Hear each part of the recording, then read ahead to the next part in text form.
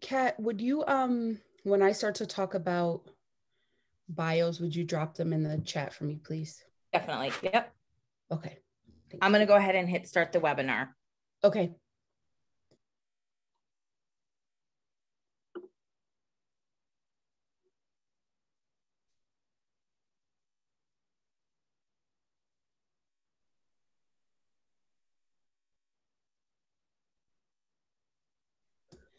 Hello, everyone. Thank you for joining us. Uh, we'll get started in just a minute or two while we let uh, folks join.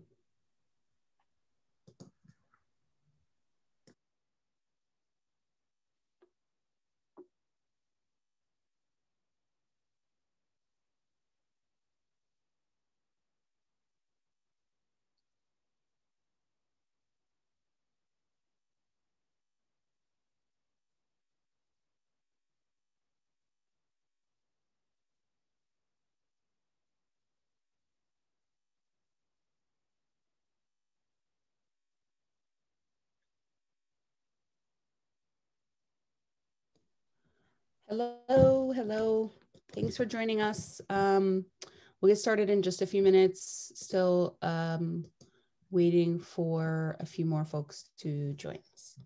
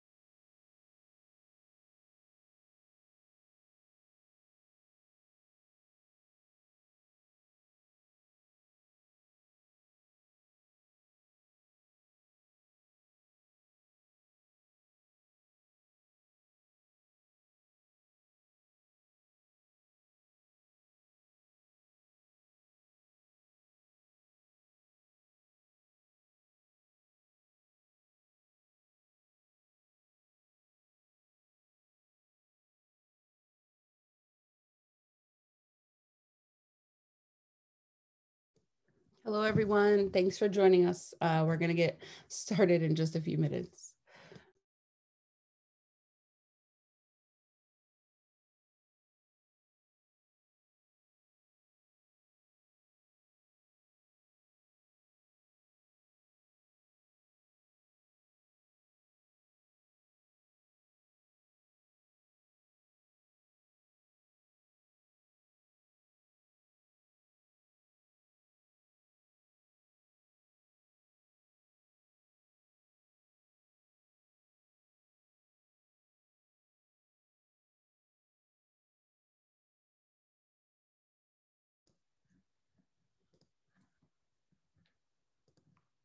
Okay, I think we're going to get started. Um, good evening, everyone. Uh, welcome. Thank you for joining us for this conversation. My name is Amika Riali. Uh, I use she, her pronouns, and I am the membership director at Law for Black Lives.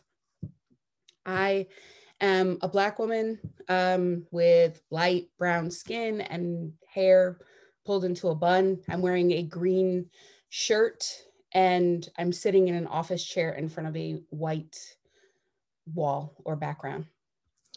Um, we are super, super excited to have this conversation. We're excited to be in conversation with our panelists. Um, the our panelists are dope. We think it's going to be a dope conversation and a great way to uh, close out Black History Month.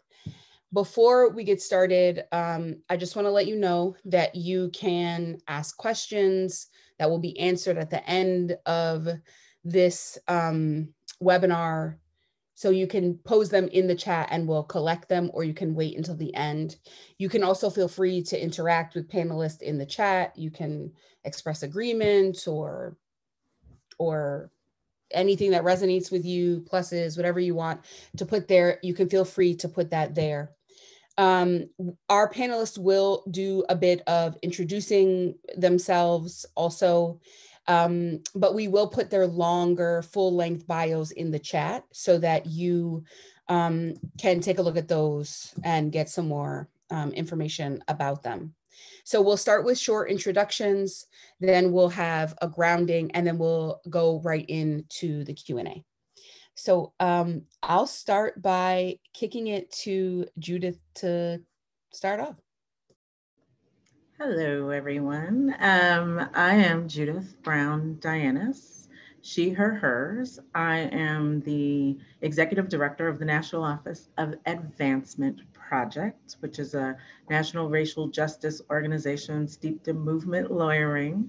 Uh, I am sitting here with my Police Free Schools organizer t-shirt on um, and in my home with my painting from the off the streets of Havana, Cuba. Uh, and so that's who I am living in Maryland. Our office is in DC, not that we go there anymore. So I will kick it to uh, Jaribu, who also shares a birthday with me, April 6th. Indeed. And I heard that when you said not that we go there anymore. So I'm Jaribu Hill, she, her pronouns, and um, I am with currently with the organization I founded, the Mississippi Workers Center for Human Rights, although I must say I was for two decades or more before becoming a lawyer, I was an organizer on the streets of New York and in the Southern region. So lawyering is like my fifth career.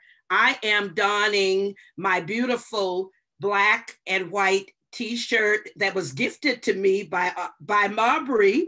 When I saw it, I saw her in the T-shirt at a conference. I said, "Where's mine?" She pulled it out of her tote bag and gave it to me, and I went to the bathroom and changed. So I'm in my black radical lawyer T-shirt. Uh, behind me is the great Fannie Lou Hamer, my guiding force, who I channel in all my work, where she says I am sick and tired of being sick and tired, which is the only part of that quote that people usually quote. But she also says we must we must stand up for our freedom. So that's that's who I am. I'm so excited to be a part of this conversation with comrades and sisters that I've known for many years.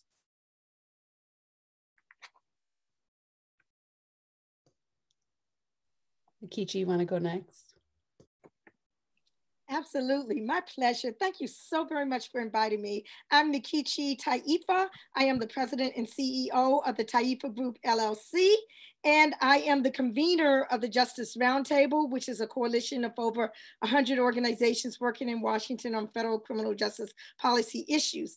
I am a long-standing member of the National Conference of Black Lawyers. I am a founding member of N'COBRA, the National Coalition of Blacks for Reparations in America, and I am an inaugural commissioner on NAARC, the National African American Reparations uh, Commission. Uh, again, I've been in the movement forever and ever since really a teenage. I was a teenager. I am a deeply melanated uh, elder woman. uh, I have locks in my hair. I've always worn my hair in some type of natural um, uh, uh, state. I am wearing uh, African head wrap, which was actually my signature style almost every single day um, up until when I joined the establishment as a lawyer, and then I still wear it all the time. Um, I have a uh, Africa red, black, and green pendant, and I'm standing behind. I'm sitting behind uh, my bookcase, which is one of quite a number of bookcases around uh, my home. And again, thank you for inviting me. Thank you. Avatara, you want to go next? Hi, um, my name is Avatara Smith Carrington. I use they, them pronouns. I am currently the Tyrone Garner Memorial Law Fellow with Lambda Legal. Um, Lambda Legal is the nation's oldest, largest um, civil rights organization um, dedicated to achieving um, our recognition of civil rights for LGBTQ people and everyone living with HIV. Um, I am wearing a denim shirt uh, and a green beanie, although you might not be able to tell. Uh, and there's a print of Basquiat in the background and like the dope black, green, and red flag as well. Um, oh, and I'm based right now in Dallas, Texas. Thank you.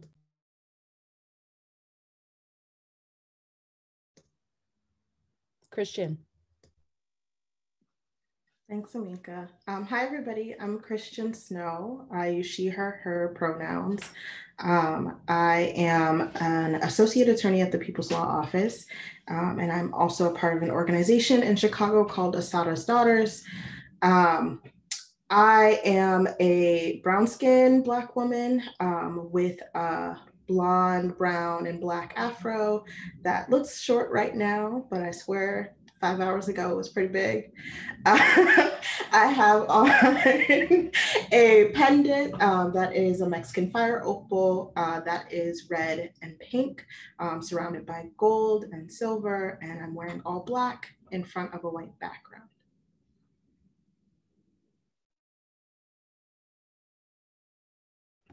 Beautiful.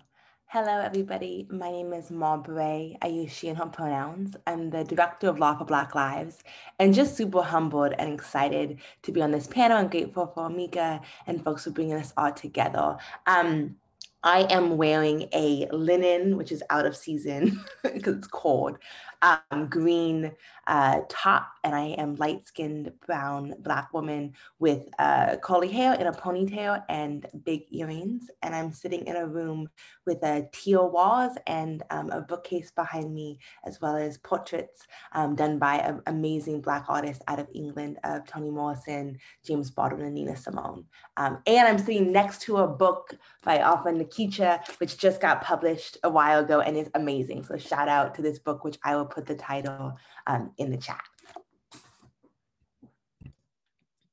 Thank you so much for those um, lovely introductions. And um, the way this will go for the rest of the evening, for the rest of the webinar, is that we'll have a grounding um, done by Marbre, and then we'll just start having some questions. So each of the panelists will answer a few questions, and then we'll um, take some questions from the audience, and then we'll close out. So Marbre, take us away. Oh, thank you. So we just wanted to, I think, start off the conversation with a grounding in what we mean by movement lawyering. And I think this is necessary in part um, because in celebration of Black History Month, we have brought together and gathered um, incredible Black lawyers um, who have practiced in ways that have been so akin to an embodiment of movement lawyering. But the reality is that for many Black lawyers, the term movement lawyer doesn't feel applicable to them. And I think we want to just kind of ground in what this term means to us and why Law for Black Black Lives is so concerned with bringing it to our people um, and figuring out how do we kind of um, approach it and manifest it in ways that make sense to us. So I want to start by saying that traditionally the term movement lawyering has been philosophized and kind of scholarized, those are words I just made up, um, by mostly white men, honestly. And so they've talked about what it means to support, to build, to strengthen movement from, I think, the perspective often of outsiders um, because of where they're from, because of their class, their race, racial and their ethnic um, and their gender backgrounds. And I think what's unique about this panel and this moment and our organization is really centering the practices of movement lawyering inside of the communities that we come from and saying and naming that we are using strategies, philosophies, and ideas that really um, are based and come from where we come from. And so we're not outsiders stepping in. We're not kind of, um, we're not, you know, folks who are approaching this through our own lenses of privilege, but instead we're actually from these places and trying to make a difference. And so I want to ground us in this reality that although it is often white men who theorize about movement lawyering, it has historically been Black folks, especially Black femmes, GNC, and Black women who have done movement lawyering. And in many ways, the work we do embodies the very principles of movement lawyering. So I want to start by kind of naming what we at Law Black Lives think those are. Um, and then I'm super excited to have this panel talk about the ways that those have manifested in, in folks' work. Um, so I think first of all, you know, movement lawyering is, is about the why, um, the with who and the how you loyal. And in many ways, the why I think is the most important. And so when we talk about movement lawyering, what we're talking about is using our legal skills, our legal positions, and our privileges um, as a way of building the power of movements. And the reason why is because we believe the way that change happens is not inside of courtrooms. It's not because you change a law. It's not because you get a policy victory. It's because the power of people, of movements, that when folks who are most impacted have the chance to lead, have the chance to pose both the solutions and the diagnosis of the problems, that we can actually see long-term sustainable change. And this differs from an idea that in fact, if you win a single court case or pass a single law, that that's the way to victory. And I think that we as Black folks have always known that every time we've made progress for our people, it's been a combination of factors. And the law and courtrooms might be one of those factors, but really the power of the people, of organized demands, of folks who are most impacted has been the front line of innovation and change. And so movement lawyering accepts as kind of a given that change happens not through legal ways, that we shouldn't center legal strategies, but that change all actually happens when people are empowered to make the change. And so we understand law as one tool in our toolbox, but not the central one. And I think one thing that's happened a lot in the history of lawyering is that lawsuits, litigation, or policy gets centered as the only way to make change. And that actually shuts down space, creativity, and power for communities who have to live through that change. And so movement lawyers believe, um, both because we've studied history and because we know um, our own experiences, that the way that change happens is when lawyers throw down to support movement. Um, and that when we decenter legal strategies, and we say that this is one tool in many, but it's not the most effective and it's not the only one.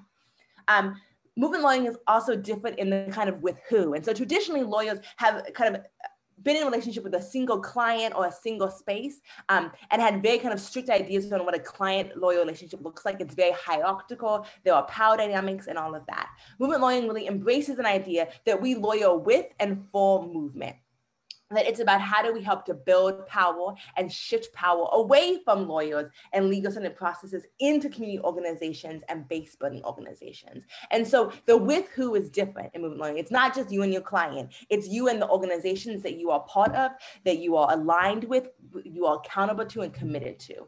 Um, movement lawyering is also different because of the how. And so very often I think a lot of legal processes we engage in tend to re-legitimize the law as the most useful tool, tend to give more power to the same system actors. And so we think about reforms that add more power to judges or or PDs or DAs. Um, movement lawyers actually want to shift power away from lawyers into communities. And so it's about how do we create democratic processes throughout all of our work, whether it's policy work or litigation work or class action work, that actually is decentering the court as the kind of the theater or the center of action and moving it to community meetings and hearings and media um, and political education opportunities, right? And so it's really about how do we shift power and focus away from lawyers and legal processes into communities that most kind of need and deserve and are fighting for them. Um, I think it's important to name this because often the what of movement lawyering looks the same. We use litigation, we use policy, we use the same tools that many lawyers use, but we use them towards different ends with different people and with different aims in mind. And I think this idea of really shifting power um, is a really important one. And as Black folks, I think we've always understood the importance of relationships, that so much of the work that we do is about how do we be a non-transactional relationships with the movements we're supporting. And I think the other difference between often kind of white theorizing and movement lawyering and black practicing is the like how come right and so a lot of us loyal to get free that we're lawyering because we want to and we believe in the liberation of our people. And so our politics, our work is moving in that direction. And so we are overtly political and unapologetically so. Um, and so I think it's important to, to understand that, that although I think um, a lot of the ways we've talked about lawyering feels as if kind of outsiders coming in, that the practice of lawyering from Pauli Murray to Judy to Judy and the work that she's doing, um, to Law for Black Lives, to Christian the folks on this panel, really is concerned about how we kind of digging in where we are and where we come from. Um, and that I think is a different kind of quality than traditional movement lawyering. And so just want to kind of put that as the, the kind of the grounding. I think very often, as I said, um, we meet dope movement lawyers who are like, I'm not a movement lawyer. That's not really like a, like a black thing. And it's like, no, it is. Like, this is the things that we're doing. And so want to really introduce and reclaim and re-own um, the title of movement lawyering and the work that we're doing is really embodying it. Thank you. Thank you for that, Marbre. That was a solid, a solid grounding. Look, um, panel over. um, so I want to shift us into what are more like longer introductions, especially because I think, as you said, Marbre, when we think about when lots of folks think so, think about movement lawyering or community lawyering or being a radical lawyer, there's a lot of conversation about the contributions that white folks have made, particularly white men. And so I'd love to hear from each of our panelists um, just about your journey to where you are in your move in movement lawyering. If you consider yourself like I am a movement lawyer, or you're sort of getting there, or you're a radical lawyer, like how did you tell us about that journey? Um, and tell us about a moment or series of moments where you were radicalized and like directed towards this work? And how do, how do you prepare yourself for this work? And that i know for some of us is a longer story but that's what we're here for. We want to hear that. Um, who would like to kick us off? I can kick it. Um margaret that was beautiful. Uh, I, I feel like i'm one of those people um, and maybe it's because I'm new, but I'm still trying to consider myself a lawyer in the first place, like whether or not that that is true for me. I mean, some of y'all who know me know I say it all the time. I'm like, I that is not a title I have absorbed yet. And in part of that, part of the like non-absorption of the title of lawyer um, comes from um, some experiences I've had in organizing where uh, lawyers would want to show up when there is a need for a lawyer and not be present when there isn't one. Um, and for me, uh, the multitude of ways that rubbed me the wrong way um, and the multitude of ways that wasn't who I wanted um, to be um, has led me to disclaim that title um, because I never want to get so rooted in that title that I forget that I'm supposed to be a person who shows up for the movement and uses whatever tools that I have available to myself. And so if I'm showing up to a protest and what they need is for me to pass out flyers or hold the line, that's what I'm going to do. If I am showing up in a community event and what they need is for me to make room for some of the elders to be able to get to the mic, that is what I'm going to do. If I'm showing up um, at an organizing event and what they need for me to do is pass out supplies. That's what i'm going to do. And if folks get locked up while we're doing that work and they need someone to go advocate for folks in the jail that's what i'm going to do um, because i now have that set of tools. And so for me um, i'm still again still working on what it, what it means to to have the legal tool set at my um, disposal now. Um, but I always want to remember that the reason that I went and got this tool set in the first place is because I wanted to be of assistance to my folks who I'm regularly fighting alongside of. Um, and I want to be able to um, do it in a way um, that makes sense for the strategy that we're uh, enacting. Um, I don't think that was the question that you asked Amika. It was more about like what radicalized us, but I don't have an answer for that for that one either. I mean, um, part of that is for me has been just life. Um, growing up in Chicago, um, and my whole family being from Chicago, and um, organizing with folks block by block on the ground, first through religious organizing, and then extending that um, but coming from a Black Baptist background, our religious organizing looked real social politic E. And uh, I've left the religious part and kept the social politic part.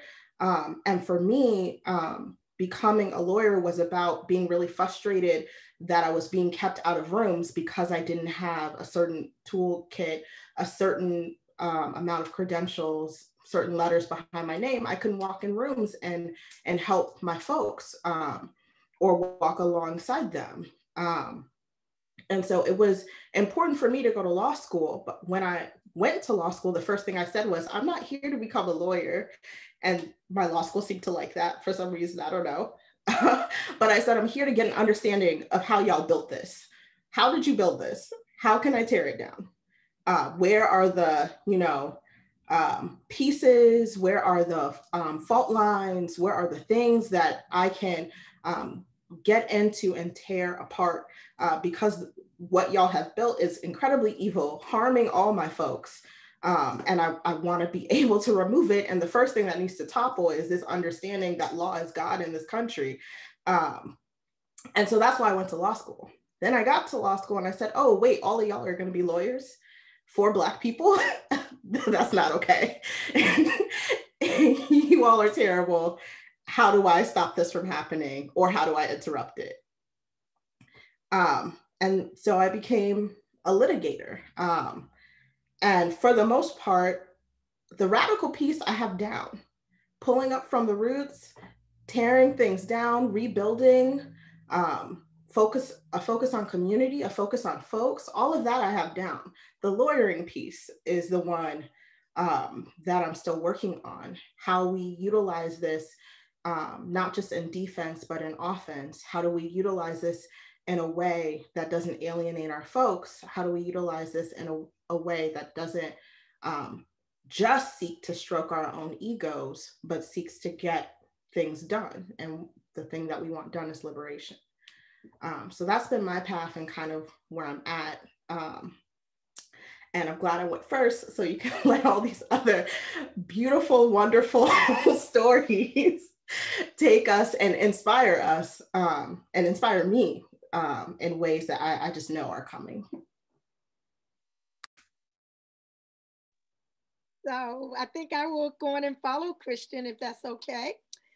Um, so I know the moment when I decided I wanted to be a, a lawyer, but even before that, growing up, I always was a, a, an inquisitive child, I guess you could say. My parents were educators, and I remember sitting in the den of my parents' um, home. We had bookshelves and all like that, and flipping through this book that was called A Pictorial History of the Negro in America. We're talking about, you know, like um, know, mid 60s. I'm doing this, and I'm coming across this um, the story of Emmett Till, basically, of which I had never heard of before. And I'm absolutely and completely shocked because Emmett Till was murdered when I was about five months old. And I'm thinking all of this happened way back in what I considered slavery times, which was millions of years ago. I had no conception of, of time. And it just really left an imprint upon me. And then finding out that Fannie Lou Hamer was arrested just for trying to register to vote when I'm in first and second grade. And, you know, all of these things left an imprint. So when I get to junior high school, and this was during the time when Black Studies was coming into the schools. Uh, we're talking about the late 60s. And um, there was a course called Black Studies or whatever it was. And I knew I wanted to take it. I already knew there was something about Blackness that I wanted to be about. And I wanted to take this course. And on the bulletin board of my eighth grade Black Studies class was this poster of a Black man with a Black beret on his head, with a spear in one hand and a rifle in another hand, sitting in a Grand Slam wicker chair. And all my girlfriends in eighth grade were talking about how fine this brother was. But I kept asking the teacher, well, why is he in prison? And I'm asking, why is the head of the Black Panther Party being represented by white lawyers? I'm wondering where are the Black lawyers to represent Black people?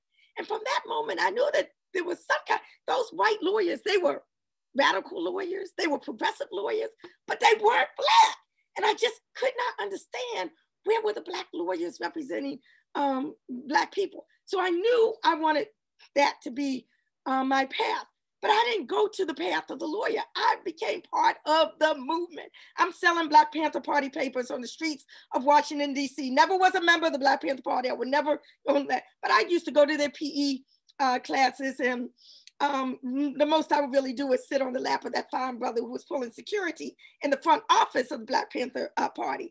But I'm sitting down and um, uh, um, you know, listening to everything that they're saying and doing. They had this little red book, Chairman Mao's, um, um, uh, you know, little red book. And in their Black Panther paper, point number three was talking about payback for slavery. And that really had an impact on me. I'm in high school. And I'm talking about reparations anywhere and everywhere I could go. Most folk, you know, um, laughed at me. You know, you're not serious. This will never happen. And it just dawned on me, maybe people would take things I'm saying a little bit more seriously if I did get, as Christian uh, said, those letters behind uh, my name. But I was well into being part of the movement, the anti-apartheid movement, the New African Independence movement, the Black liberation struggle before I even went to law school. So when I ended up going to law school in 1980, which was several years after graduating from undergrad, I already went there knowing about civil procedure, knowing about criminal law, knowing about international law, knowing that I wanted to use the law creatively to find innovative ways in which we could use the law to deal with our, uh, our, our situation in, and our, uh, you know, oppression. So I went there already with a consciousness. The legal cases that I was involved with, I was not someone from outside. I was part of the movement as a movement lawyer. We ain't call it movement lawyer back then, y'all. We call it like people's lawyer, you know, all like that. But it's all good. Uh, so I'm going to just stop there and just say that I'm just grateful that this new generation, you all, I mean, you all are part of the new generation. Some of us are still part of the older generation, have really grabbed the bull by the horns and really taken this on. So I'll go. Um, so I, you know, so I appreciate that, Nkechi, that that story. Um, you know, so for me, I, I want to come back to what Mar said about power, right? And power being central to what we do as movement lawyers, because for me, it was that I saw at a young age in a household with a mother who was an organizer, activist, educator, that when she took me to my first protest that I remember at the age of three, that we were able to get change in the government, right? And so, and then in college and in law school, seeing like how organizing could actually change things, right? And so when I come out of law school, and I went to law school because I actually was a victim of job discrimination, I was like, I'm gonna white people ain't doing this to nobody else. I'm gonna sue a bunch of folks. And so, but I came out and wanted to practice civil rights law. And what I found was that I was losing a lot of cases because the law didn't want us to be free, right? The courts didn't want us to be free. And that I was filing a lot of cases that nobody cared about. The community didn't care about. I'm going into communities trying to find plaintiffs. Oh yeah, let it go. Like y'all, yeah, I want to find because it's an important issue. But the community was like, I remember one of my first cases. It was it was an education case.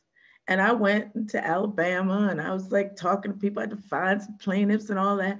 And I telling them about this case we're going to file. And they said to me, Well, actually, you know what we'd like? We'd like running water. And I was like, oh, sorry, that's not what I'm here to do. I'm here to bring this education case. And so years later, like being doing that work for a while and also seeing that what I was doing was that I could win something or settle something, but that I'm the one who's following up on the consent decree or the settlement because again, the community didn't care about what I was doing.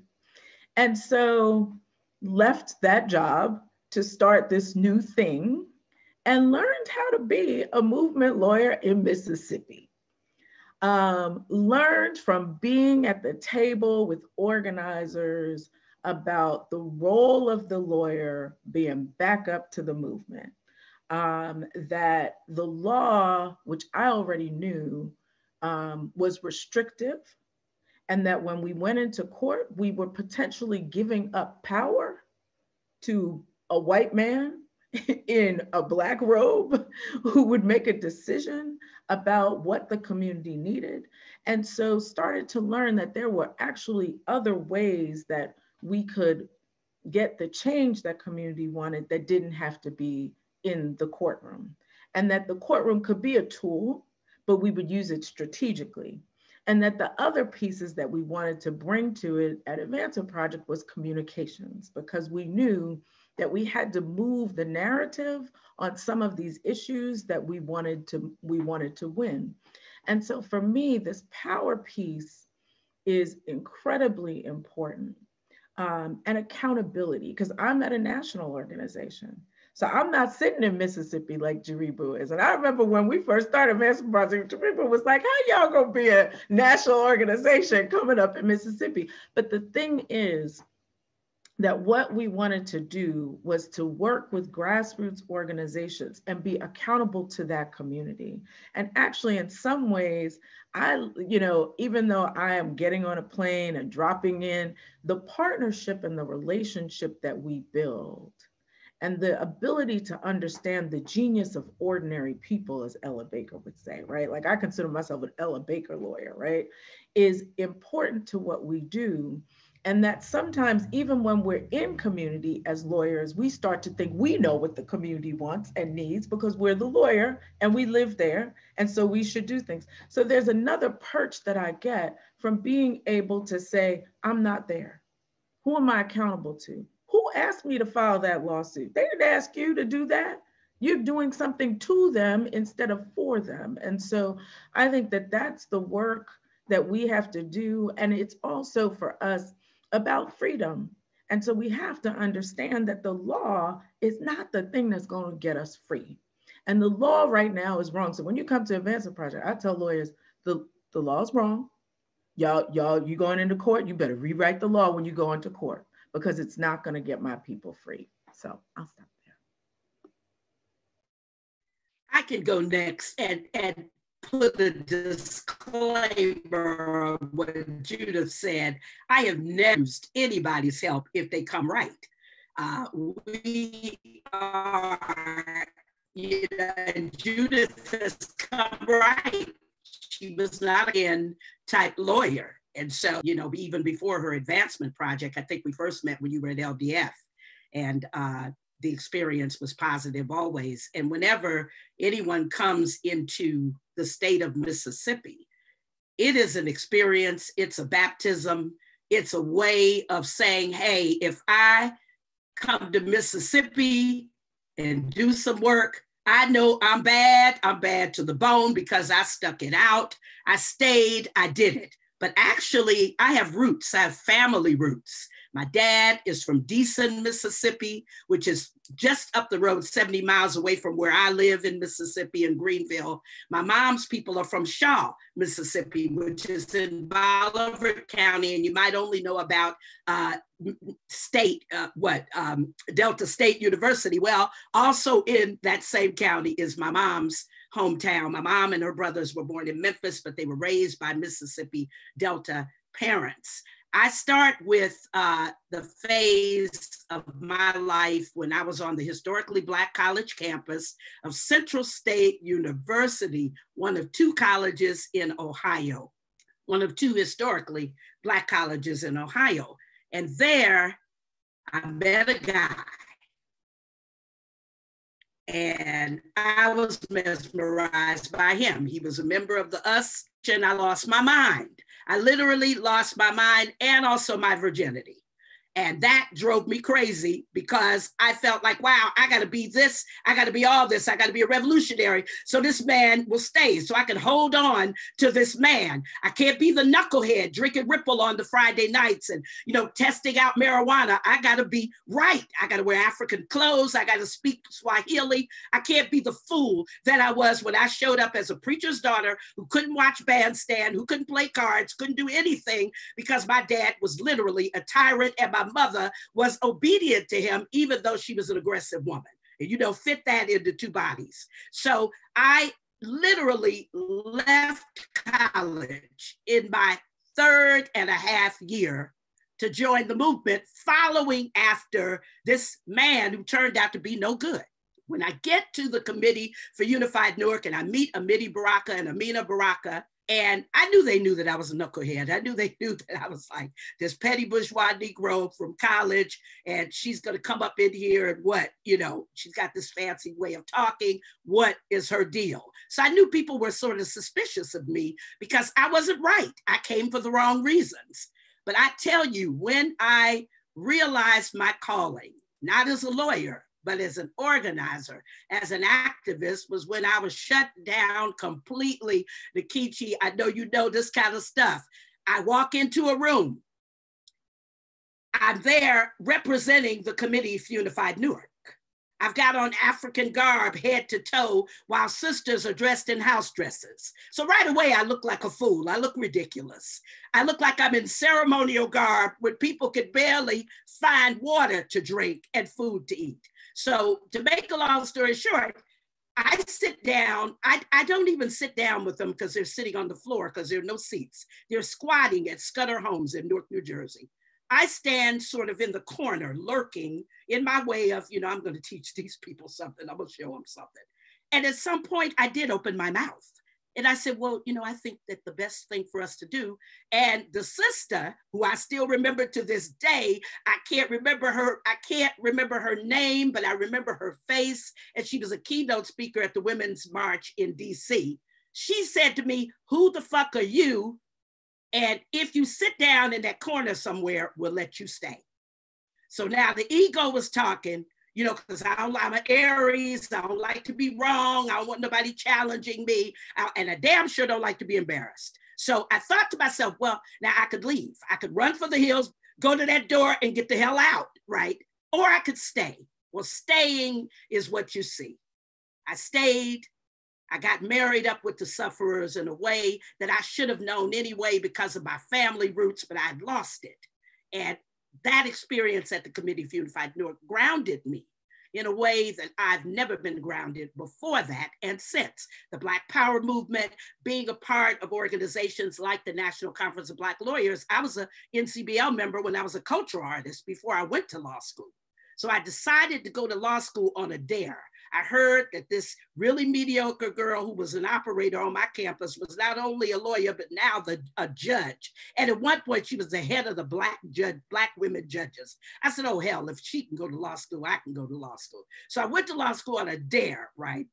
Knowing I wasn't good at standardized tests, knowing all of that, I still said, I'm gonna do this. I'm gonna take a chance. So I went to law school. Then I applied for a Skadden Fellowship. Didn't think I was gonna get it because I wasn't going to an Ivy League school. And, you know, I just had the obstacles in the way along the way. And lo and behold, I got the fellowship. I said, oh shit. I said I was going to Mississippi. Wow. If I'd known that I was actually going to get it, maybe I wouldn't have said that. But it's too late. It's out there in the wind. Everyone knows Jaribu is going to Mississippi to be a lawyer. What was I thinking when I arrived in Mississippi, Judith? I saw two things in Oxford, Mississippi when I arrived to do my Skadden with legal services. I saw a banner that said, Heritage, not hate, save our flag, and welcome Elvis scholars. And I said, What the hell did you do? You in a place where the song thief has scholarship behind his name and they talk about draping your ass in a Confederate flag. What are you doing? So I, I just, I, I hunkered down. I, I, I, got baptized in it. I, I couldn't say no to anything at first. And that was what I had to learn. You had to focus and you had to figure out what your what your track was going to be. I found myself in two areas hate violence in the workplace, where nooses were being made, where Klan recruitment was going on. And we did a big case against the largest employer in the state. Of course, we couldn't get class certification because uh, that was not available to us, okay, no matter how much our people suffered. But we did the cases in clusters. We were able to get relief, but more importantly, we were able to get zero tolerance for hate violence at Northrop Grumman ship systems.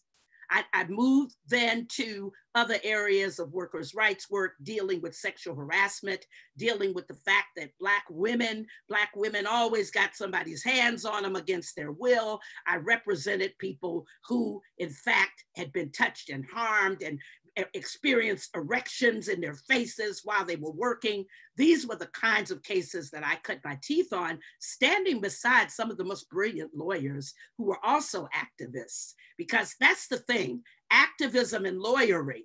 That's that's an important combination. And I think because I wasn't a lawyer first, because I didn't go to law school right out of college, that it helped me to understand that you could play a role if you commit class suicide, as Cabral says if you shed your privilege and shrink yourself, you can blow up your people, so to speak. You can make them larger than life and force people to see them.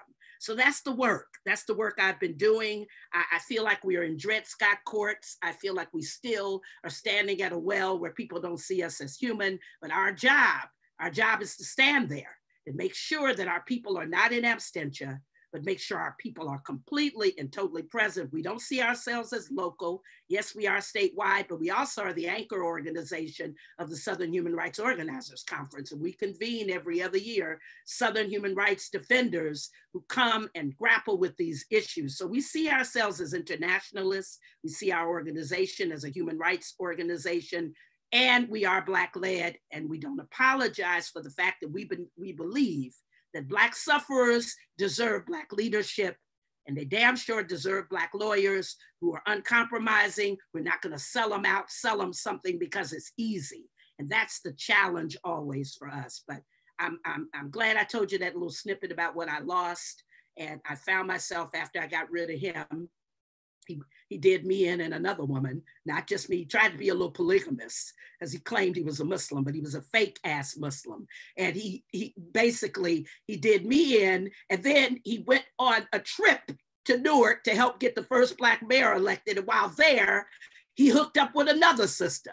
And so it just, I mean, it shows you what you got. You got to push it, you got to push it to the side and realized that there was something. And I, this brother, I'll never forget it. You know him Nkechi, Tyrese Warren. He looked at me. He was on that campus. He was a senior at Central State when I was a freshman. He said to me, he said, you know, sister, there's potential there. I said, what are you talking about? And what is that black band around your arm? What is all that about? Oh, sister, that's El Hajj Malik. I was such an idiot. I said, what? Who? Who is that? Who? I mean, I was a dumb ass teenager on campus who had never heard of Malcolm. So, but he was patient with me and he didn't throw me aside. He saw some potential in me. So that's what I can say is that that's what I try to do in return. I try to see where we can pull from people if they come. I feel like if you come in this way, you're coming for a reason. And I just welcome folks coming to our region, coming to the state. I know that Judith in her national work, they've crisscrossed across many southern states, Alabama, Mississippi, South Carolina. I encourage people to do some of your grounding work in the deep South. You will know when you are there, you will know how much you're needed, but also it will give you a particular purpose and a sense of grace that you might not have had before. So I, I recruit, I actively recruit people to come to Mississippi, goddamn, as Nina called it, and do this work and learn more about Emmett Till. We still don't have justice for him. I was just on a call today about the betrayal and about this Negro district attorney who has no spine, needs a surgery to get a spine because he's just so backless. But with that said, we don't let it stop us. We just keep coming. And this is this is remarkable to have all these scary black women on, on one screen. This is too dangerous. They might shut this down before we finish. Jaribu, thank you so much for that. I see you naming names, just bringing it all out, bringing it all out. Um, uh, Avatara, would you mind uh, going next for us? Yeah, sure. I know it's um, a hard, it's tough act to follow. Really don't know how but... you follow that up at all. Um, Avatara, they, them pronouns again. Um, I'll make this really short. Um, so I grew up in New Jersey. So you're talking about Newark, and my grandmother lives literally on the border of Newark and Hillside. So I was like, oh, okay. Um, and I, I grew up in Jersey City. And what I'll say is that I actually fell into the law. Like I tell people that honestly, I didn't expect to ever do this. Um, I literally told my parents, I was like, maybe I'll do this thing. And they took me very seriously. Um, my dad is an immigrant from the West Indies. My mom is an amazing, beautiful educator in New Jersey. Um, and, you know, my, my grandmother, uh, she'll tell you stories of being on the Chitlin circuit and like segregation. And my other grandma will tell you stories of her being a domestic worker in New York and figuring out how to make ends meet in order to bring her children to the US. Um, and so when I was thinking about like what I wanted to do in terms of like what does it look like to to build with community, I thought of it as the possibility of going to law school, not because I thought that the law was going to get us any freer, but I was just like to like what I'm hearing from other folks is just like, all right, what does this thing do? Because what I know for a fact is that it um, tends to bind people up who look like me and then living at the intersection of a couple of different identities, being Black, being queer, being um, trans in terms of like, you know, all that good stuff. I was just like, all right, I really, really want to know what the law does and what there is to offer, um, especially because I know that there's a lot happening in this world um, that cuts in terms of like everything that was hitting hard in terms of police violence, in terms of thinking about um, the climate, and ter- like all these different things. So I really was like, all right, let's see what the law has to offer. Um, and so, actually, I wasn't going to stay in law school because I saw what it had to offer, and I was like, oh no, this is not for me. I'm not about this life. Um, mostly because I looked around at my peers and they were all white and they were going into this field. And I'm like, this this specific area is already violent because of whiteness. Um, and I'm seeing other students kind of getting indoctrinated into this. And it scared me, to be honest, because I was just like, I just don't see what it looks like on the other side. And thankfully, I had amazing, amazing professors, specifically um, Professor um, Taunya Banks, who like I became her research assistant. And I was just like, you're brilliant. I love the way that you talk about Black women in the law. I was like, I see a path forward. Um, and since then, I've been chugging along at the different points of like whether it's immigration, whether it's um, talking about discrimination on the basis of sex, this, that, and third, but everything comes back for me to Blackness and what it means to be Black and hold other identities, and what that means to also be in a system where we're both like hyper visible and invisible. And so, like, when I think about the question of what radicalized me, like, as cliche as it sometimes might sound, is like what radicalized me is actually me being in existence and me being in existence with community that um, we all hold these different identities, whether it's um, along the lines of class or immigration status or disability or sexuality and gender, and seeing how, like, and just seeing, like, you know, the ways that folks are still surviving, even when every system, um, if you look at it, is meant to kind of like snuff us out. And so I, I kind of started thinking about it as just like, I don't think I see this as a path forward in some ways, but I think that there is room to do some destruction. And I'm fine with chaos. Um, so as long as I can do what I need to do in that space, then I'm gonna do it. Um, and I think that, you know, to the point that Judith made around accountability is like, the what keeps me in this work is actually like my accountability to my community, to the people I'm deeply in community with. Um, because sometimes I don't think that the work happens nine to five. I think that the work actually happens in a text message from a friend saying, Hey, we were hemmed up by the police in this state. We don't know what we're gonna do. It was really violent. What are the options? And hopping on a Zoom call and being like, all right, let's figure it out. Um, that's what the work looks like to me. That's what I actually think is the beauty of going to law school and coming out on the other end with this weird degree and stuff like that is the possibility of being able to meet people where they're at in the moment and figure out like what do you want to do and how can i support you in that? Um, and these are the resources i have to offer for that. So i think that you know in the sense of like what radicalized means like my community and the identities that i hold and the beautiful like people who like you know raised me and like made me the person i am. But on the other end I see lawyering as a possibility for more, even when it tells you that honestly you should always have less.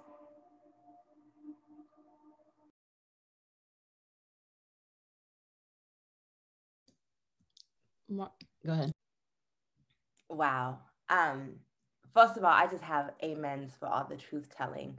Um, and yeah, I just really appreciate what you just said too about kind of our communities radicalizing us. Um, you know, I I feel like radicalization is an ongoing commitment and process for me. And so, and I want to, I just want to define radicalization because I think that we use this term inside of movement spaces and we all know what it means. Um, but I, I, think it's important to name that I think when we say radical, we mean in the Baker sense. So in the kind of like long-standing tradition of Black organizing. And that's like an uncovering, an unrooting of really addressing not just the symptoms of these problems that we face and have to survive, but actually like demanding that we account for the roots of them, which are, of course are anti-Blackness and capitalism and disposability culture um, and misogyny. And so really like going down to the roots and and I think addressing our attention to how we actually are changing what's underneath the surface. So, um, and that to me has been a, a long-standing commitment that is ongoing. I think, you know, I went to law school not radicalized. I went to law school because I had been in situations um, where I felt powerless before a courtroom of people who um, didn't know my life or my family's life, and I felt like if I could just speak this language, and this is kind of in the criminal context um, of the law, that I could somehow change outcomes for folks that I loved, that I would have the power to to change realities. And law school radicalized me because what was really clear to me in law school was that speaking the language of power didn't actually give me or my people any power. Um, and in fact, that the whole system was stacked. That there was this kind of like this half truth that I believed through, I think, at least undergrad, um, that if we just had the right language, the right truth, um, that, that justice would be on our side, right? And I knew that like, there was a long history of that not being true, but hoped for something different for my people, right? The law was like at its heart good. And I think what I learned in law school and what movement has reiterated for me is that the roots of these systems are rotten. The system isn't broken. We often talk about kind of broken systems, but I think you can't go through law school with an eye towards your own experience as a black or brown person, or, or even as like a, a, working class or poor person, and actually believe that this system was meant to solve um, anything except for the interest of rich white property owners, men, right? That is the history of this system. That's what it was meant for. And law school just like uncovered all of that really clearly for me um, and made it clear to me that, that speaking this language was not sufficient, that it wouldn't actually give anyone more power. And at its worst, it would give me more power um, and abandon the folks who I had come for. And so I was really clear that I had to be really committed um, to deep relationships with my people and, to stay accountable to them. So I think that was like kind of my first moment of radicalization. Um, I left law school um, and within a year or I guess two years, Ferguson happened, which for me was a really like incredibly instrumental moment um, as being kind of a baby lawyer. And I think even now, to Christian's point, I'm still like, am I a lawyer? Is that one of my identities? Um, but at the time, it was even less so. But I was still figuring out how to kind of use these tools. And I, you know, had I was sent to Ferguson as part of my job at the time. I was a fellow, um, and I remember first of all just being like transformed um, by the bravery, um, the audaciousness, the boldness, the clarity of folks who literally were putting their lives on the line in front of an occupying force and were really clear that um, they weren't just there um, because they had watched their neighbor lay in the street for hours. They were there because of all of the, the ways in which their life had been discarded um, and disposed of by the state. And so, and this idea of like, how brave must we be if our people will be this brave? Like, what is the demand of us if our 15 year olds um, are standing out on the front lines of this and risking their body and life? Like, what is that demand of me as somebody who has so much more space, right?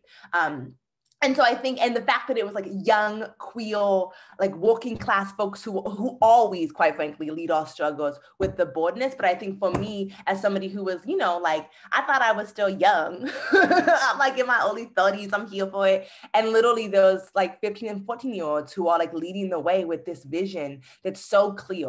Um, and that that to me was just a real like like a calling of like, okay, so what is this? What are you giving up? Like what are you willing to sacrifice? What are you willing to risk for this? And and um, I think the other moment for me was kind of in the post Ferguson moment um, that I was trying my best to help. And to Christians, when I was like, I'll get your water for you, like whatever you need, like I I can help with it. And like I will find whatever lane you think I'm helpful in, I'm down to help with. And I was at that point doing a lot of policy stuff around policing. And I thought again that I was like at the vanguard. I was feeling more and more radicalized. I was an abolitionist. I thought I was totally down. Um, and I think that I really had a sense that I could be of assistance around around policy stuff. And so I went to. It was actually um, it was right after the killing of Jamar Clark, um, in Minneapolis. And it was with the same folks who, of course, have led all the work in Minneapolis now as well. And I was going down there to like help them develop demands, essentially. That I was like the lawyer who could like find a policy, write a policy, whatever you need. And I had, I think, at that point, kind of a checklist of like what are the things that you can do in response to a police killing. And this this group of folks who are amazing Black organizers um, had occupied a precinct for I think it was like a week or something following the killing of Jamar Clark and a police precinct in wintertime in Minneapolis. So like not a joke. Nobody was joking. It was so serious and so cold. And they were making demands around police reform. And so I thought that I kind of had a list that they could borrow from. So I was like oversight boards, you know, like what other kind of list of possibilities. And so I get to this meeting, I feel like I'm prepped for the meeting. And one of the organizers looks at me after I kind of present like here are some options. And she's like, we're actually interested in abolishing the police. Like what what would you recommend for next steps for that? And I was like, what? like that's not on my list. I, like, and this is before really this becomes the demand, right? This is a, a moment of body cameras and prosecutions was 2016. And I think for me, it was this like realization that my imagination was not sufficient. That I had to be in space and be willing to listen, be willing to be like, I do not know the answer like I don't, and I think as lawyers we're taught to say no, like, oh, that's not possible. Sorry, next. Um, or to set the confines of the conversation or the possibility. And what I realized in that moment was that my imagination was not sufficient.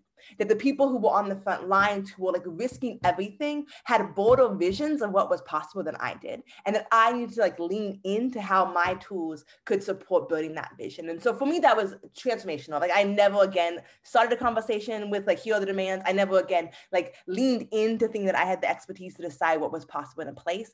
And I think really started asking how instead of no. And so to every kind of request that we get, I, I try and say like, okay, like how can we do that? um, and I think it's a really important question for us to lean into. But those were the moments for me that have radicalized me. And I think this, I mean, I remain constantly radicalized by like the boldness and vision um, of folks who who come after, who are just constantly demanding more of us.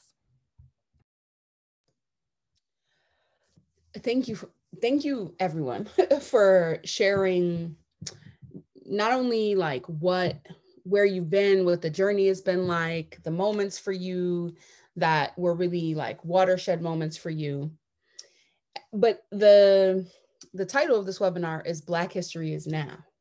So what we want to know is like what is the work now? What are you what is the work that you see as most urgent from your position or with the people that you are in community with right now? And I'll let anybody start.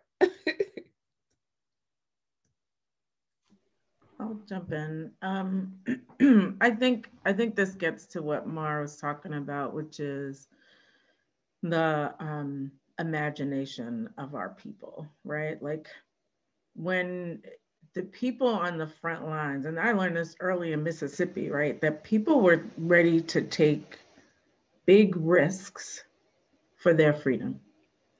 And that I wasn't going to stand in the way of that, but I had to figure out how to support them in taking those risks. And those risks could have been, you know, what may seem small nowadays, but when you're in the Mississippi Delta and there's a plantation owner who controls everything from everybody's jobs to um, the school system uh, to every the churches, et cetera, going up against the white plantation owner is a big deal.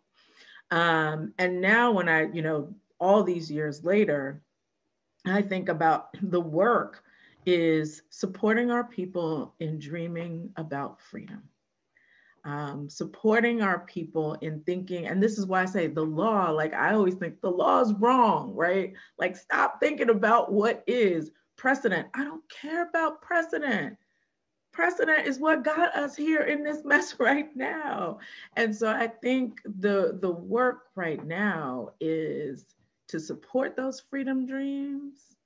The work is to um, give people the tools that they need in their dreaming, right? And and being able to help them um, move and articulate that, whether it's the Breathe Act, right, with M, M4BL, right? And that is that omnibus bill that will be, right, has everything in there that our communities need to be free. And so um, I, I'm excited about where we are right now um, because I feel like our movements are stronger than they've been in my several years of doing this kind of work, um, that there's more coordination, that um, people are ready to take big risks.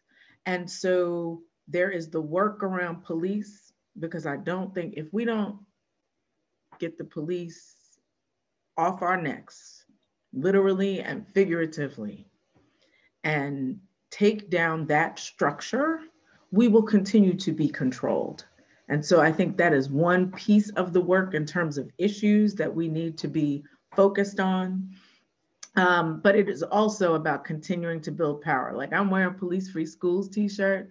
Young people did this and young people are winning, right? Like when I say young people, I'm not talking about young people like you, Emeka. I'm talking about teenagers, right? I'm talking about like, and again, it is them dreaming about what could be and saying what is is not working for them and not supporting them and nurturing them and that they can't thrive with it. And so um, our, our job is to keep being radical, keep pushing the envelope, keep supporting people and building power. I can jump in.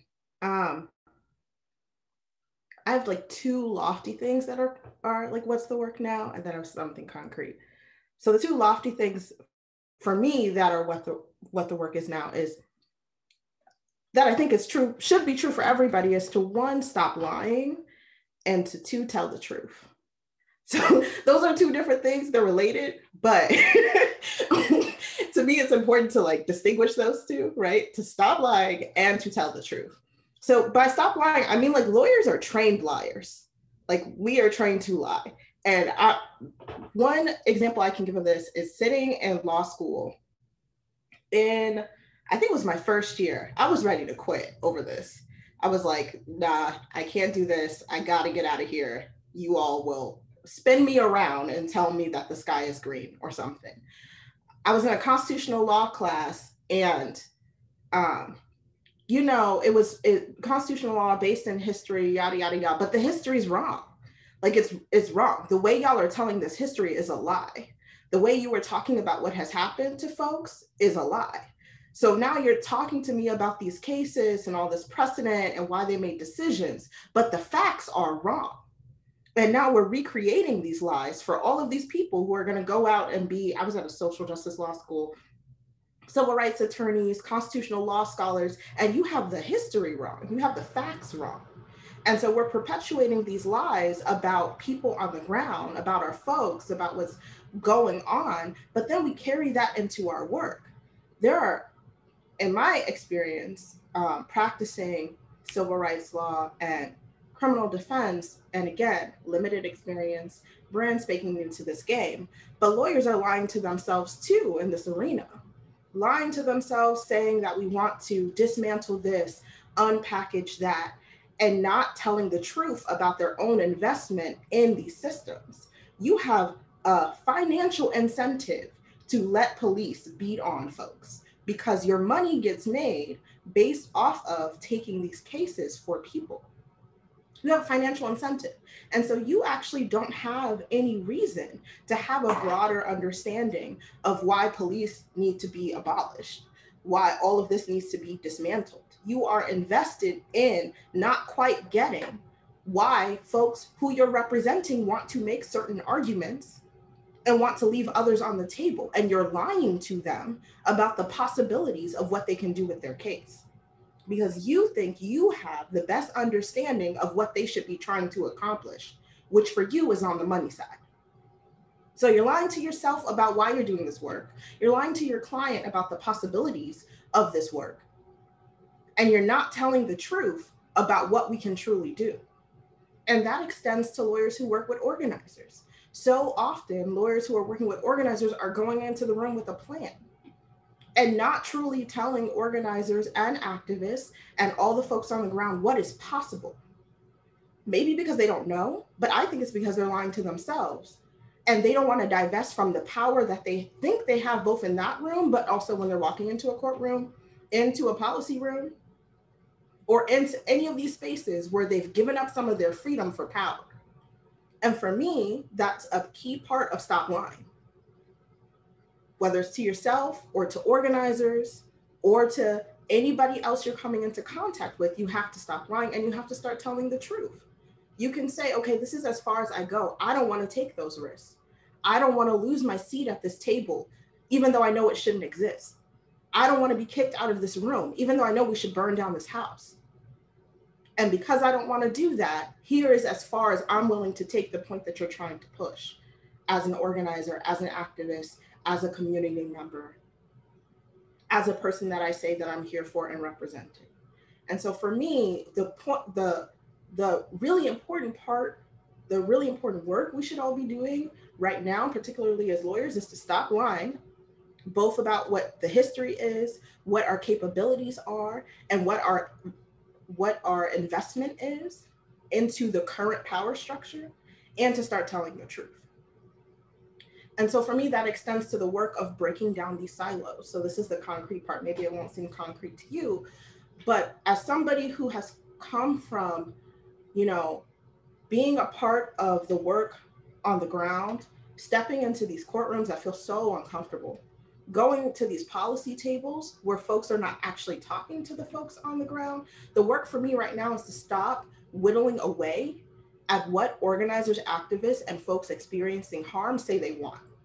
Because you think you know what's possible in this moment that they created for you as a policy person, as a lawyer, as somebody who has found a way to play the game and invest and get a little bit of piece of this power that you won't divest from now. It is so frustrating to watch all of these folks in these rooms whittle away at the demands of people on the ground who are putting their lives, their bodies, their futures on the ground so that we can get free. It is so frustrating to watch these bills pass or even go up for a conversation or to watch people enter rooms with power based off of the work that people have done on the ground. And this summer was so exhausting. This past summer, it was so exhausting to be a part of that work on the ground and to watch all these quote unquote wins that are coming out be different than what people were asking for, be less than what people were asking for, be diluted from what people were asking for because those folks at those tables and those rooms think they know better than the folks who were calling on the ground. Every time I see a, a flyer that says beyond the protest, I get so frustrated because you won't have that moment without that protest. You won't have that little power, that little pressure that you think you have without the protest. And instead of getting in line with folks on the ground, you've decided to make decisions on their behalf. And so that for me is what the work is. Stop lying, tell the truth, and get in alignment with the people putting their lives at risk. Um, I'll go really quickly next because I think it might build off of what you're just talking about. So I was thinking about it. I actually wish for, I would love an audit, like an internal audit of where we actually are.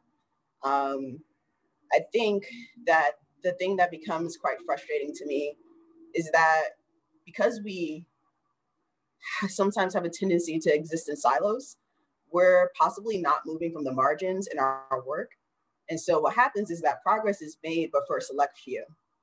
And what I'm noticing now is that there are a lot of people out there who are saying like, okay, but what about us?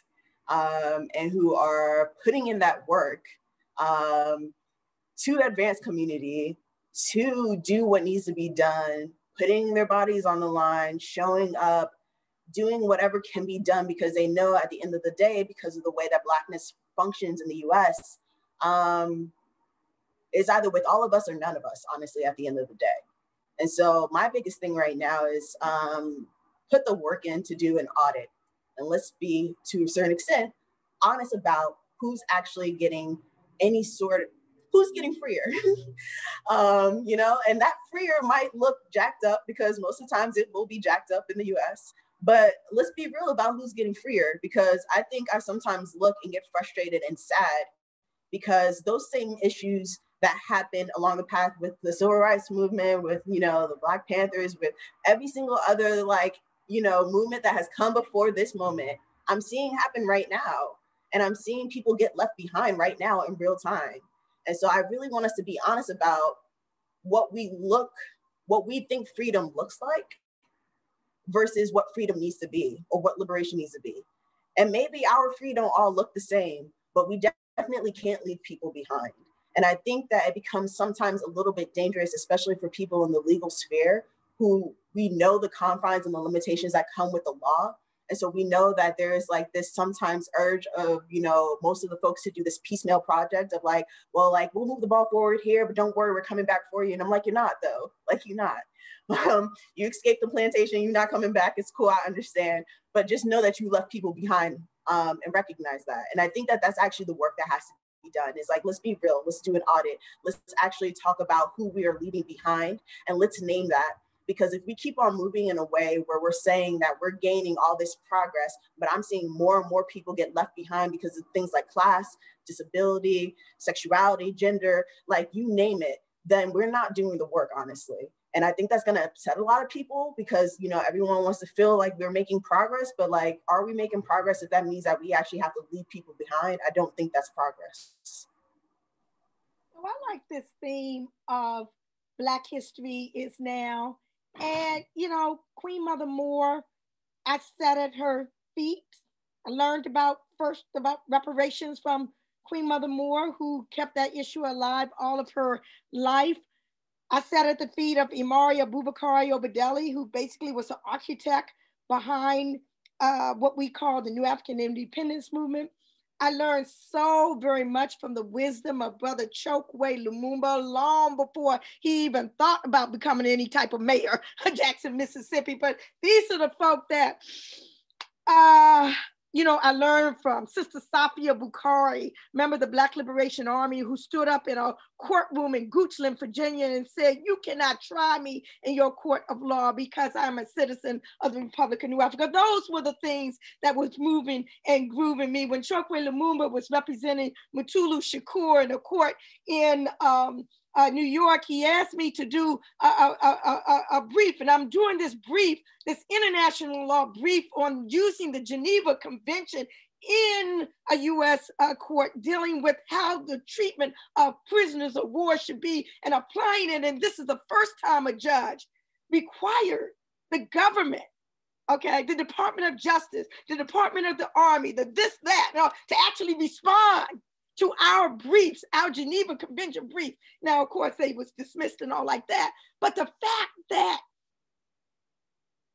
a response was required was just really very uh, pivotal. I sat at the feet of Haywood Burns. I'm talking about luminaries with the National Conference of Black Lawyers. I remember the last time that I saw him alive, he was we were up in, in Congress and we were doing a briefing on opening up the church committee hearings. Those were the U.S. Senate Intelligence Committee hearings that investigated the COINTELPRO, the FBI's one secret, quite illegal uh, war against the uh, Black uh, community. Uh, um, Mar Margaret Burnham, who um, uh, was actually a lawyer for Angela Davis. You know, back in the day, a lot of times we don't know these these these these people. Stan Willis of Chicago bumped into him on the street in Washington, D.C. I said, Stan, what you doing here in D.C.? He said, I'm going before the Inter-American Commission on Human Rights and filed this, this, this, this, this, to try to get this hearing on this police torture, Burge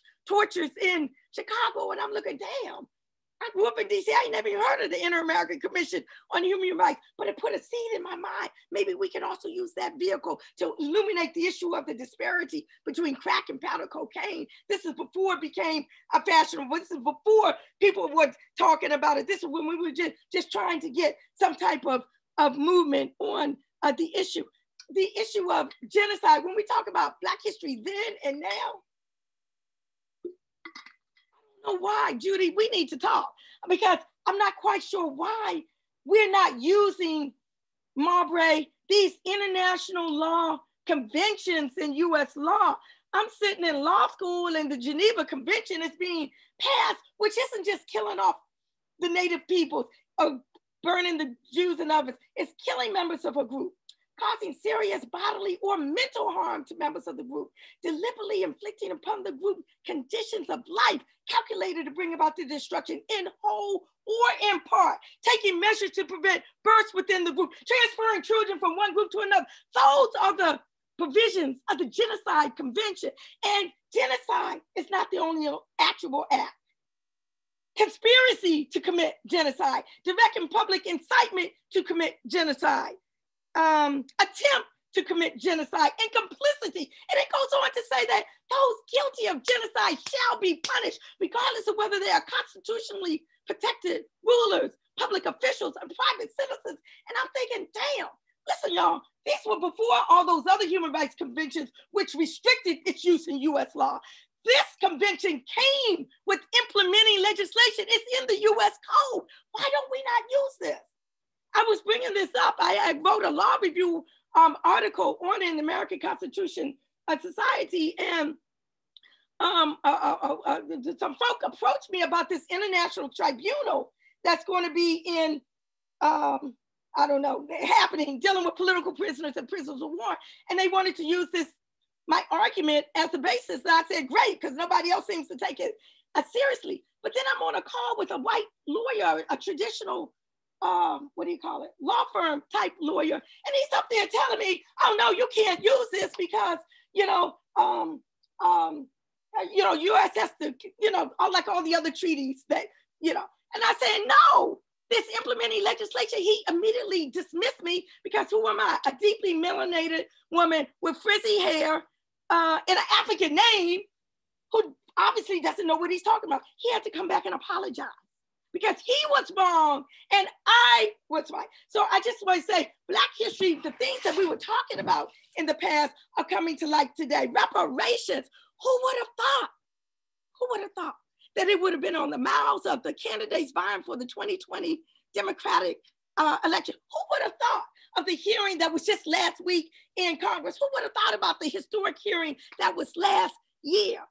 I mean, I'm just saying, reparations is an issue whose time has come. So all of those things that I was talking about way back in the day, which is one of the reasons why I wanted to get a law degree so people would start paying attention, are beginning to come um, uh, to fruit.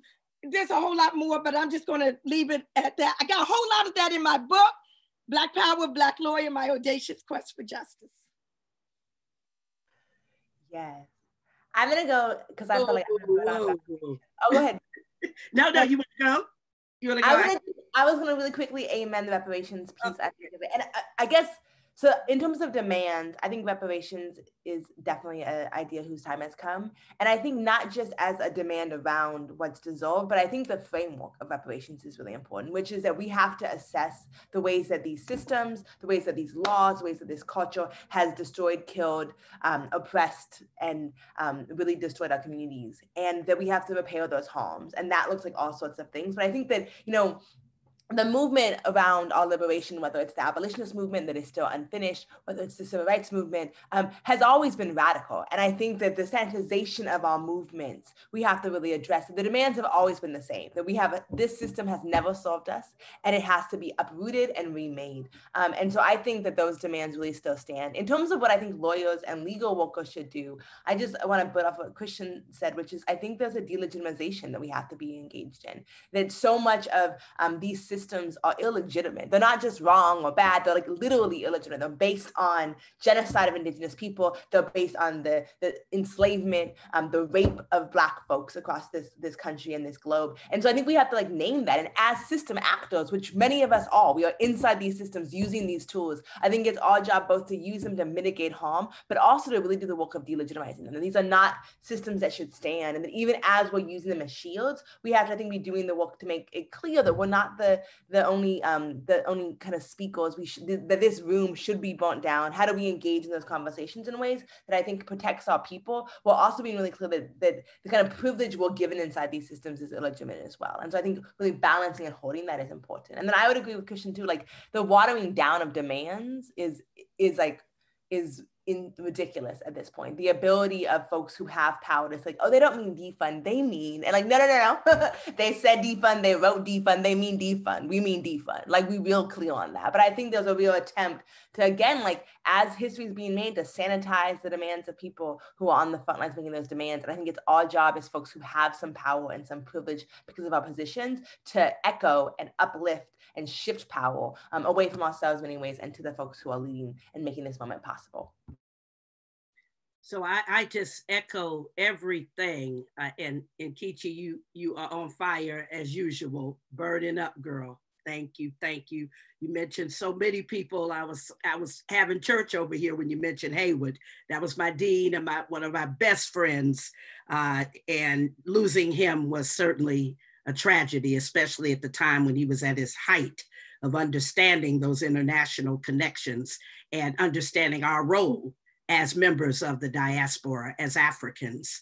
And so for me, I think Black history has to mean a severing of ties with those who hurt us, who look like us. It's got to mean that. We got to wage real class struggle. And I learned that a long time ago when I was done in by some Negroes when we were trying to organize in Newark. But I've learned it more recently in this election cycle. People literally lost their minds over Trump and then didn't and, and acted like the lesser of two evils were going to be so much more revolutionary and so much more profound and necessary for us. We got to tell the truth. Like my sister said, we got to stop lying and tell the truth. We got to remember Kamala Harris's history. I'm sorry, folks. I was just looking at another version, not a version, but another account of something that happened in California with a sister named Mitrice Richardson, who was abducted and murdered, I think was in 80, 84 or 94, I'm not sure, but Kamala was the attorney general at the time, and there was a whole article on this type of betrayal that she was a part of. And I'm not singling her out for any other reason other than to say we need to come out of this haze that we're in and stop lifting up people and making them into folk heroes when we know they got baggage. They got more baggage than a long trip abroad. Okay, they got more baggage than we even know about.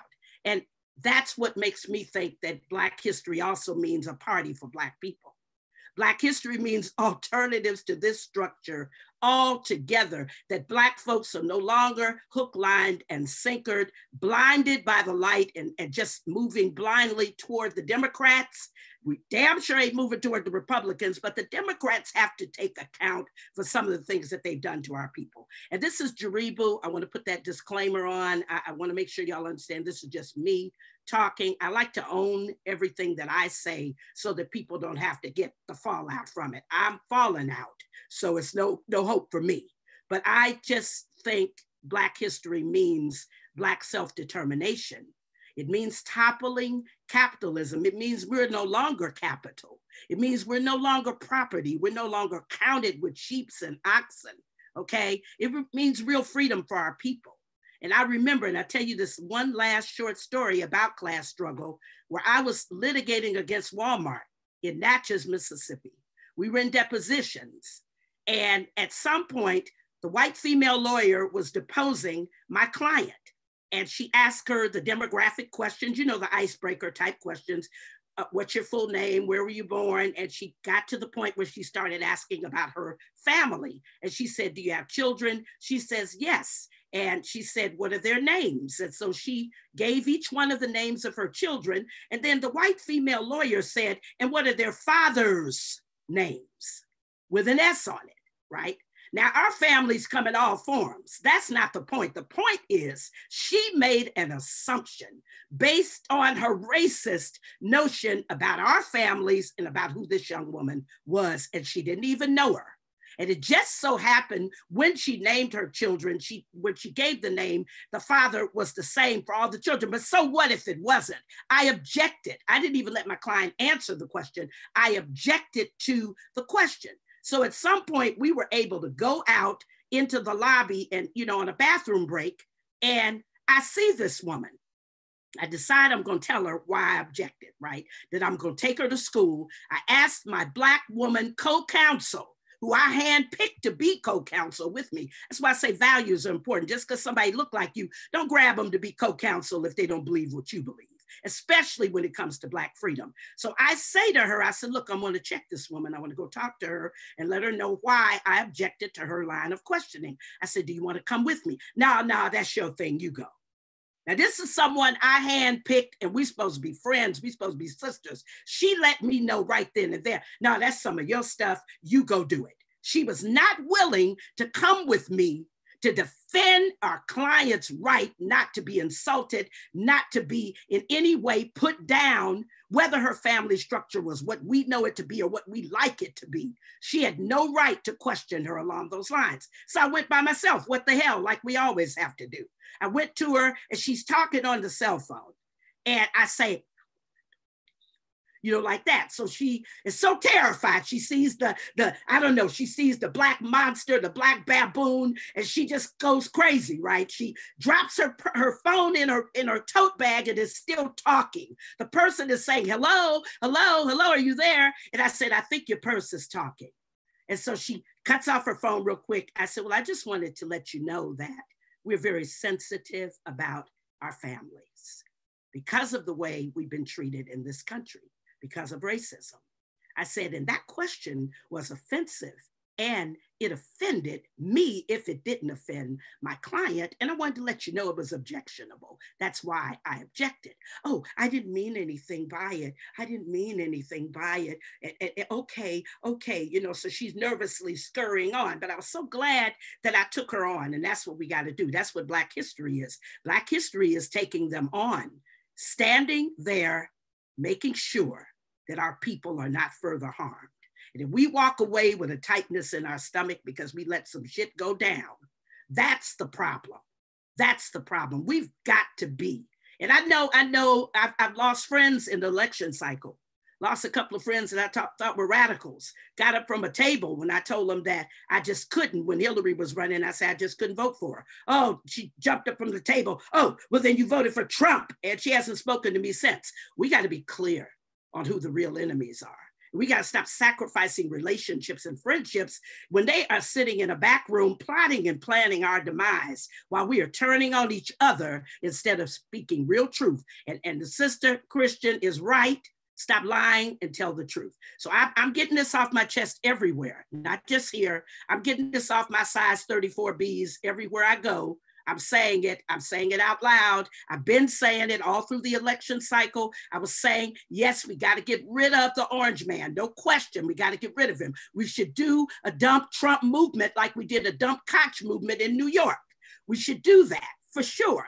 But at the same time, we don't need to glorify the records of these other folks, right? Right, right. We don't need to do that. And that's what we've been doing. And where is the left?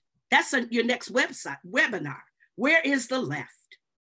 Where is our where is our opposition to this? When we lockstep climb into bed with it, how do we distinguish ourselves from it? Is is just my frustrating question.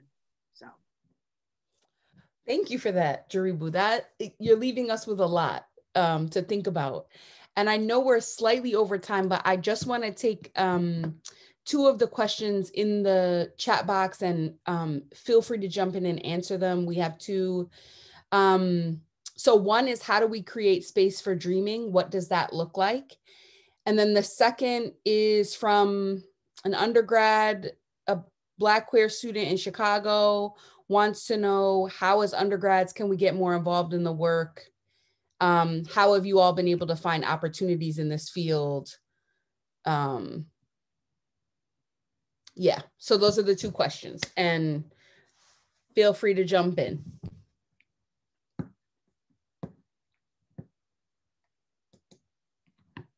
Well, let me just say, I, I would say just very quickly how not to find space to dream. okay. And then I'll let the folk who are doing it right say how you can find space to dream. How not to find space to dream is how I've been doing it all my life, working from sun up to sundown to not, I mean, and in this Zoom thing, it's like, it's like total complete 24 uh, seven um, what I'm learning from the, the next generation is that you got to find time for self care. And I hear this and I feel so jealous when I see folk coming back from Jamaica and doing the, the spa and all like that. So I want to sit back and listen to this answer as to how we can find this space when we're some of us are so used to just that's why they called it the struggle because we were just always struggling. We and, and you know, and how can we do this so that we can live and survive and be able to do this work without the stress? So I'm going to shut up and I want to hear the answer to that question so that I can start doing right what I've been doing wrong for the past over 40 years. Um, can I jump in real quickly? So, to the point that you're saying, um, finding space to dream has honestly looked like stepping out of legal spaces, to be honest, um, because it's also a reset. Um, I like thinking about it as like the way that I came to the law is actually through literature. Like I grew up with like my mom was a avid reader and like women's like you know black women's book clubs. So I would see all the books she would have on her shelves, and that's how I like first came to Toni Morrison and The Bluest Eye and like all these great pieces of literature. And I found that like my ability to dream is actually directly con- um, directly connected to my ability to access authors um, and to see the worlds that they are building. Um, because I think that that becomes a moment where I'm just like, there's something more possible. And it might not be tomorrow and it might not be like in 10 years, but there is something more possible. And I love to return to Black writers specifically for that reason, um, especially Black writers who are like Black, you know, queer, trans, like, because then you just start to see a world look bigger and bigger and bigger um, and it holds people. Um, so that's the one thing. And then for uh, the student who's in undergrad, the one thing I'll say is that I'll be honest about my path. It's been hard. like I think, you know, being black in this space is just it's rough. And I think that not everybody wants to name that sometimes. Um, they just want you to get your foot in the door and like, oh, the doors will, you know, you'll work and you'll open up. And then let's be real, like the way that the same way racism and anti-black violence and all that plays into like every other space, plays into the legal space as well. Um, and it plays into opportunities. Um, and so, you know, as much as you can hustle and be aggressive and like, you know, all this other stuff, and, you know, we're fed that story about, you know, you gotta be three steps ahead. Honestly, it don't matter if you're 10 steps ahead. Um, like, I will say just like, you know, find the communities that you're in and deeply plug in because that's the way that I was able to find opportunity was that I actually just deeply invested in the communities I, I saw myself being accountable to who were also accountable to me. Um, and it was mostly connected to whatever I was really passionate about. So I started doing digital like organizing and campaigning and got deeply into like reproductive health care. I started doing work around that stuff and got deeply into that. So just like, I don't know, my thing is like go deep in those communities because honestly, those are also life-saving things to do. I just wanted to add to the dreaming piece that for me, um, it has also been, to your point, stepping outside of the of the legal sphere, right? Um, I have found the best dreaming spaces have been around youth organizers. And that might be in part because they're not tainted by what what is, right? They still have this idea that there is something else out there beyond what is for them. Uh, and so that has been a beautiful space to be thinking about what your school could look like, what your neighborhood could look like, right? And and and it's expansive for them. Um, and so I think being in those spaces for lawyers is important, but being in those spaces as lawyers and not being, you know, not sucking the air out the room, right? But being part of the process and listening to young people and listening to impacted people just generally like our communities know that what they are experiencing is wrong and that there is something else and so if you just take a moment to listen to people they know about something better. They know about what they want, right? And we just, I think sometimes don't do enough of that. I think about another experience is when the Dream Defenders took over the state capitol in Florida. And 29 plus days of being in the Capitol after Trayvon Martin was killed and using that space as a space to dream, right? And to think about how can we, first of all, take over Florida how can we change Florida? And if there's policies we want pushed, what does that look like? But what is the organizing mechanism that we want also? And so I think in those spaces of adversity is where our people also come to face to face with like, this is not what will be for us. I'm gonna jump in real quick. Um, the piece about dreaming. So for me personally, I joined um, an organization back when I joined it. It was just a collective called Assata's Daughters. When I was in law school, I joined this organization, and what um, it really got me through law school. And the reason that it got me through law school is because I was surrounded by Black women, queer folks, um, gender non binary folks who were a part of this organization, who were helping me um, understand that my feeling in law school of all of this is fucked up was not wrong. That were helping me process through and understand that no, all of this indoctrination that law school is doing, I can divest from this because I don't, I don't need it.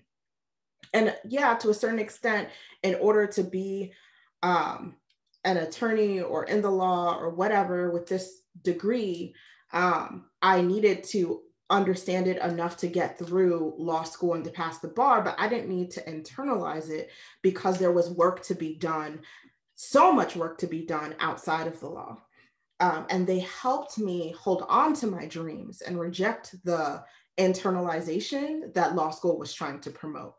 I found law school to be an absolutely horrid, horrendous, terrible, uh, cry every day type of experience. And I haven't found the law to be any different, to be quite honest, um, in terms of practicing in the law, especially in doing civil rights and criminal defense work. It has been, these spaces in litigation are absolutely terrible. Um, you know, it, it is uh, really frustrating um, to go through every day in in name of defense of our people and and I had Margaret Burnham as a professor and a, was a research assistant for her. And I still found it to be an absolutely horrible experience. And part of that I put on us and us as attorneys and us as Black people who have gotten through all of that horrible experience is that we tend to leave folks who look like us, who are experiencing these things, who are going in with the politics alone. We tend to leave us isolated. I had not heard of, and again, first generation college student, let alone law student, I had not heard of any of these Black attorneys, any of these radical folks when I went to law school. As I was going through law school, I stumbled on Evelyn Williams' book, Inadmissible Evidence, stumbled on that book and had not had never heard of any never heard of the national conference of black lawyers. BALSA was what was being pushed and no one had explained the connection. I had not heard these stories. I knew about the republic of new africa from my understanding of uh, and um, you know long history of political education but i didn't know anything about the lawyers who were you know helping folks. I knew about a lot of these arguments but again had never heard of how we had applied these things to folks, even if they had failed. And that's our fault. And I say R because now I'm an attorney and need to also be telling these stories, but I'm talking about the collective R. Where are these stories? Where are is this political education of folks who are interested in using the law as this defensive mechanism um, and trying to not be indoctrinated into this white supremacist system that they want us to be? Where are they? And to me, it's important to have that in order to be able to dream. I shouldn't have to recreate what y'all have done. I should be able to build off of that foundation. And, and Assata's, the space that I still hold on to as a place for dreaming, that's what we do. We provide political education to young people in Assata's names in her um, understanding that nobody, especially white supremacists, are going to give us our education. And as Black attorneys, we need to hold on to that and uplift that. And the law schools are not going to give us the education that we need to be the radical lawyers for our folks that we can be. We need ourselves and each other to provide that education. And that education will enable us to dream because in order to dream, we have to be able to imagine and to see and to know that not only is it possible, folks have attempted it, and we can learn lessons both from their successes and from their missteps. Well, there is a, a song that, uh, not gonna sing it, uh, by Regina Belle. She talks about dream and color. She says, when I dream, I dream in color. I want to love, not just a lover. And she goes on to say, show me a child who never had a dream.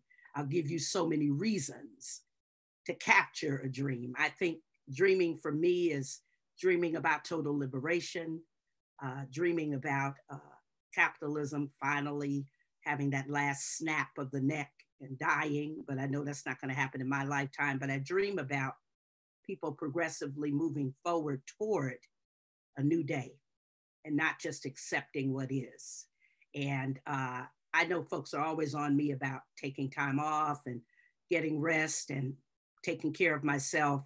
And believe it or not, this is the way I take care of myself. These conversations, these interactions with other revolutionary Black women who don't make me feel like I'm not insane by thinking these thoughts, because sometimes you can go into rooms and people can look like you, but they are not of you, and they push you down and crush your dreams. And so when you are in a room like this, it's hard to let it go I mean, we're already almost at eight o'clock. And the reason for that is because it's hard to let go of something that is so holistically positive. I want a t-shirt that says stop lying and tell the truth, Christian. I want a t-shirt. I want to make me a t-shirt that says that because it's so true. And in the circles that we're in and the zones of privilege where we are, if we can retreat to something like this every now and then, it, it would just be so amazing. I was on a uh, uh, watch a movie watch with Nkechi, where we watched the film Regina King's movie one night in Miami. And I was so excited to be able to do that because how often do we as revolutionaries get to socialize together, watch a film and have conversation? Yeah, there was some craziness in the chat, you know, and crazy Imhotep types who were saying stuff like, you know, you basically want you barefoot and pregnant, but we were able to go through it. And I thought you did an excellent job showing grace and, and constraint because I saw a couple times you were like, oh, wait, wait, what are you talking about? But it was good even to hear some of the stuff that we might not agree with. It was still good to be, you know, in that in that way, being present. So I, I just think more of that, more, more times to have fun, more times to kick it with people who, when you say something that calls for revolution, they don't look at you like, how did you get invited to this party? That that is the party right? Everybody there is talking revolution, whether it's about Fred Hampton or whether it's about Assata, whatever the issue, they're not looking at you like you're crazy. I, I just long for that, a free sort of environment where you can share these ideas and talk about things that concern you. And you can talk about stopping the murders of Black trans women without people saying, yeah, but why did it, why are they like that? You know, or I mean, just so backwards and beyond homophobic right? Some of the comments in the, in the Bible Belt. is horrible here, the environment. But being able to step outside of that and come into this is, is a dream for me. And I want it to come true. I really do. On that note, we are, we need to bring this beautiful space to a close. Um, thank you to all of you for bringing so much of yourselves and so much honesty and so much history and brilliance um, and sharing with us and with one another in this conversation. Um, so, uh, Marbre, are you going to take us out or we good? good. I'm going to hold this stop lying, tell the truth. I feel like that's a takeout. But thank y'all so much. And thank you, Amika, for all of my holding us. All right. Thank Bye, you, everyone. everybody. Bye. See you soon. See you soon.